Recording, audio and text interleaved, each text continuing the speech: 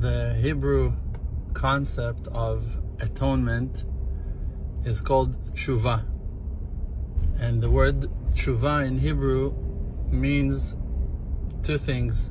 One is the way back of a person from a place that he went to. So the path of coming back to where he came out from is called tshuva. And as well, tshuva means an answer. So, two amazing points on that word that represents atonement in Hebrew. One is that you should not judge yourself in a negative way and hating yourself for who you are today, your condition, your life situation. Because the fact is that you came from a holy place and your root is highly and precious.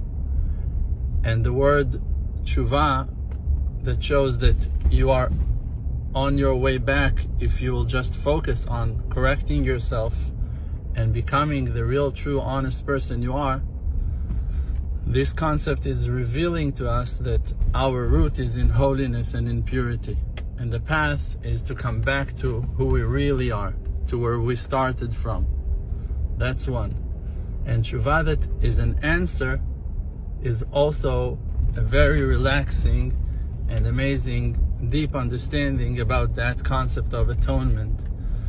When a person is falling and failing in his life, he falls into a place of doubts, of questions, of many, many lackings in his understanding of his own life. What am I doing here? What's going on? Why is it happening to me?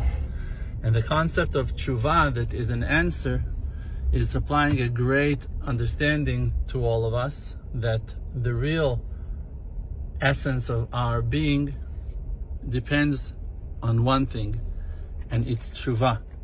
That there is an answer to all our questions. You have many questions, but there is one answer to it, and it's to come back to who you really are, to come back to Hashem, to your soul, to the root of your soul, to become the precious and pure and holy and highly one that you are. Remembering that brings a lot of comfort and deep understanding for the fact we have hope that we have a chance to complete our process of atonement, to complete our tshuva, and to become in our true potential as great as we really are. Good luck.